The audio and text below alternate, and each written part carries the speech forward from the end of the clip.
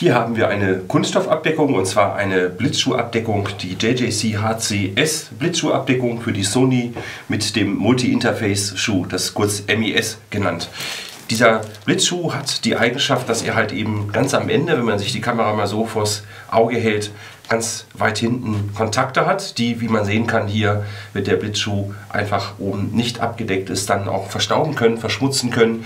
Wenn man dann ständig auch irgendwie etwas reinschiebt, einen Blitz und hier vorne hat sich halt eben Staub angesammelt, dann schiebt man den auch immer ganz gut hinten durch und dafür gibt es halt eben jetzt auch dann diesen spezielle, äh, diese spezielle Blitzschuhabdeckung. Die packe ich mal eben aus. So.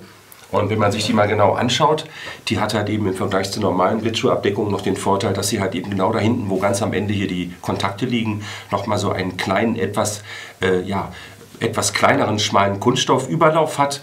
Und wenn ich die jetzt hier einfach draufschiebe, diese Abdeckung, dann kann man sehen, wie dieser Überlauf, ich nenne das einfach jetzt mal so, es klingt gut, dieser Überlauf dann hier einfach auch unter der Metallumrandung dann verschwindet. Das bedeutet, dass also auch da hinten kein Staub hinkommen kann, wie es zum Beispiel der Fall wäre bei einer normalen Blitzschuhabdeckung, die nicht ganz bis nach hinten durchgeht, beziehungsweise halt eben auch gar nicht die Form hat. Das heißt, die würde auch gar nicht ganz reingehen, weil sie vorne halt eben nicht abgeflacht ist.